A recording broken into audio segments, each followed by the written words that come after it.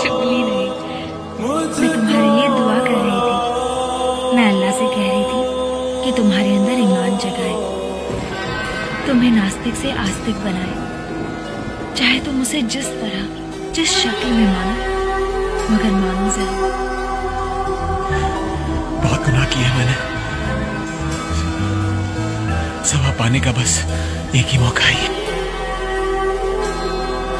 तो ये चाहती हूँ कि हम दोनों मरने के बाद भी मिले, जन्नत में। और जन्नत में वही लोग मिलते हैं जो खुदा को मानते हैं।